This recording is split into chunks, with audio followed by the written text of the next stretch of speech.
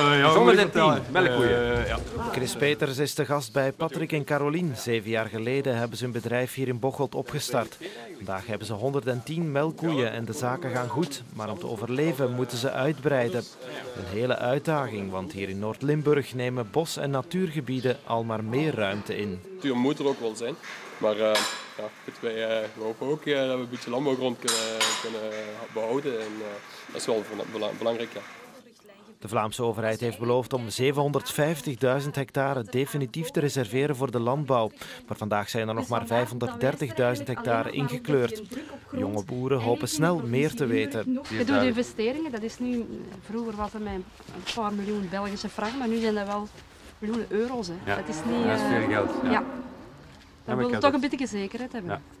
Of heel veel. Ja. Ik begrijp dat zeer goed. De minister van Landbouw wil dan ook werk maken van het probleem. Het is eh, niet eh, allemaal van de ene dag op de andere oplosbaar. Maar alle zorgen die zij hier hebben, eh, neem ik als minister van Landbouw ter harte en zal daar alles voor doen om dat ook te realiseren.